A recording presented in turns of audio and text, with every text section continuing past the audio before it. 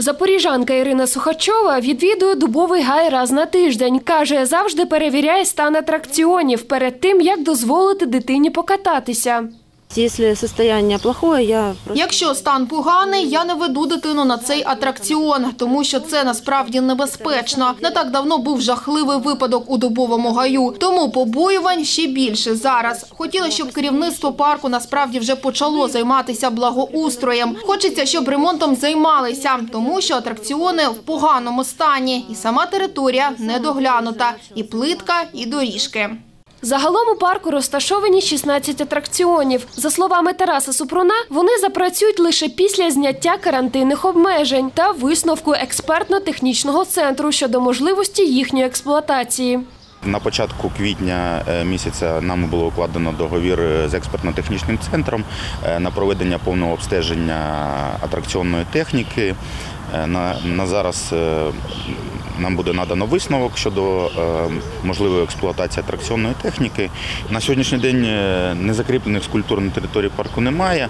Е, Все, що було не закріплене, не знаходилось на балансі, його вже прибрали і для безпечного відвідування парку. Мотузковий атракціон, який знаходився поруч з малою водоймою, наразі демонтований, каже Тарас Супрун. Ще в 2019 році е, було е, винесено рішення суду щодо е, приведення території в належний стан та демонтажу цього вірьовочного атракціону. На сьогоднішній день він демонтований і знаходиться на зберіганні на господарчому подвір'ї.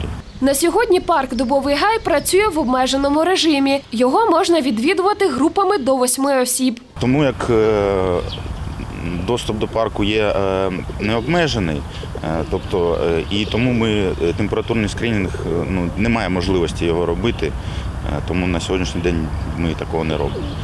Що стосується масочного режиму, на сьогоднішній день також немає у нас такої можливості перевіряти людей, які пересуваються в масках, без масок. За словами виконуючого обов'язки директора комунального підприємства Центральний парк культури та відпочинку Добовий гай Тараса Супруна, результати перевірки атракціонів у добовому гаю стануть відомі до кінця тижня. Дар'я Пасічник, Владислав Киящук. Новини на Суспільному. Запоріжжя.